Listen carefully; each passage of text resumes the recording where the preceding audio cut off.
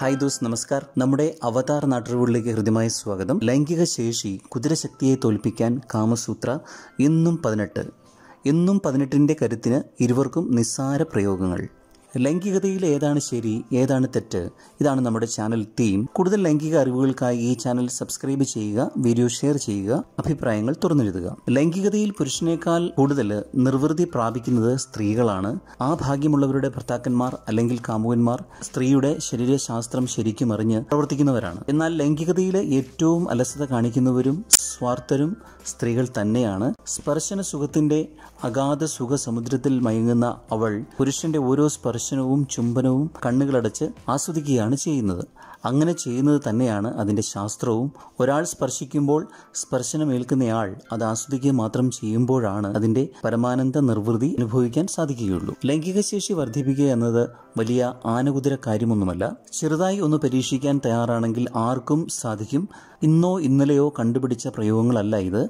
പ്രാചീന കാലത്ത് തുടങ്ങി മനുഷ്യൻ ഇതൊക്കെ ഫലപ്രദമായി ഉപയോഗിച്ചിരുന്നു. ഇന്ന് ഈ നൂഡിൽസ് കാലഘട്ടത്തിൽ എല്ലാം ഇൻസ്റ്റന്റ് എന്ന ചിന്താഗതിയാണ് ഇത്തരം പരമ്പരാഗത രീതികളെ മനുഷ്യൻ വിശ്വസിക്കാൻ തയ്യാറാവാത്തത്. ആണും പെണ്ണും ലൈംഗികശേഷിയും താല്പര്യവും ജീവിതകാലം മുഴുവൻ നിലനിർത്തിയാൽ ജീവിതം മധുരതരമാകും. നല്ല ലൈംഗിക ശേഷി നല്ല ആരോഗ്യത്തിനെയാണ് സൂചിപ്പിക്കുന്നത്. അത്തരം ചില കിടിലൻ രീതികൾ ഇനി പറയാം. സ്ത്രീക്കും പുരുഷനും ഒരുപോലെ കാമതൃഷ്ണ ഉണർത്തുന്ന കാമോത്തേജനത്തിനും സമയദൈർഘ്യത്തിനും രതിമൂർച്ചയ്ക്കും വാത്സ്യായനൻ കൽപ്പിച്ച ഒരു ഒറ്റമൂലി പ്രയോഗമുണ്ട്. കോഴിമുട്ട പകുതി പുഴുങ്ങിയ പരുവത്തിൽ എടുത്ത് തോട് കളഞ്ഞ് രണ്ടായി മുറിക്കുക.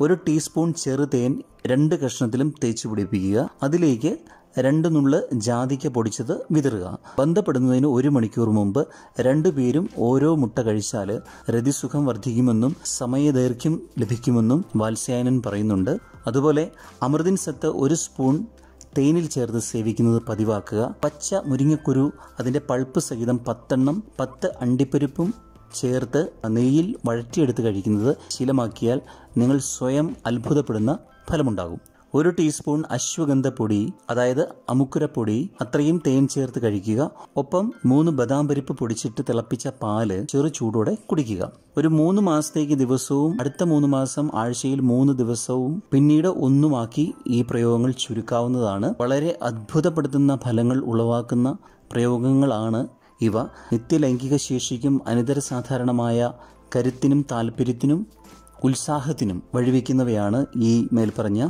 പ്രയോഗങ്ങൾ. അപ്പോൾ ഈ സെഷൻ എവർക്കും പ്രയോജനപ്പെടുമെന്ന് കരുതുന്നു. കൂടുതൽ ആൾക്കാരിലേക്ക് ഷെയർ ചെയ്യാൻ താല്പര്യപ്പെടുന്നു. ശുക്രിയ. ഫിർമിലെങ്കി. Bye bye.